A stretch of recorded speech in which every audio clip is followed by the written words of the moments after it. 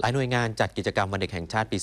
2558 ต่อเนื่องนะครับให้บรรดาเด็กและเยาวชนได้เรียนรู้พร้อมความสนุกสนานนำไปปรับใช้ในชีวิตประจำวัน โดยที่อุทยานการเรียนรู้ทีเคพาร์คชั้น 8 ศูนย์การค้าเซ็นทรัลเวิลด์ยังคงมีการจัดกิจกรรมวันเด็กแห่งชาติ สนุก 10 ยกกำลัง 10 ความรู้คู่คุณธรรมนำสู่อนาคตต่อเนื่องจากเมื่อวาน มีผู้ปกครองนำบุตรหลานมาร่วมแสดงความสามารถและแสดงความสนุกสนาน หรือสร้างความสนุกสนานต่างๆ อาทิการเต้น การแสดงดนตรี การเล่านิทาน การแข่งขันตอบคำถาม การเล่นเกมชิงรางวัล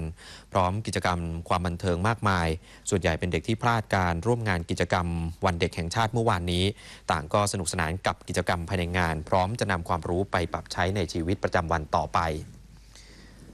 ส่วนที่ชุมชนหลังกองร้อยถนนผังเมืองหนึ่งตำบลสเตงอำเภอเมืองยะลา หน่วยงานทั้งภาครัฐและเอกชน ร่วมกับชาวชุมชน จัดกิจกรรมงานวันเด็กประจำปี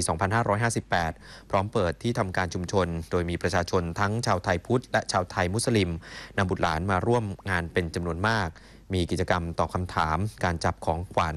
เกมต่างๆ เพื่อส่งเสริมการพัฒนาการของเด็กและเยาวชน พร้อมทั้งมีพิธีเปิดที่ทำการสำนักงานชุมชน เพื่อเปิดโอกาสให้ประชาชนในพื้นที่ เข้ามามีส่วนร่วมเสนอแนะการแก้ไขปัญหา และสร้างความรักความสามัคคีภายในชุมชน รวมทั้งการดูแลความปลอดภัย และอยู่ร่วมกันอย่างสันติสุขของพี่น้องชาวไทยพุทธและชาวไทยมุสลิม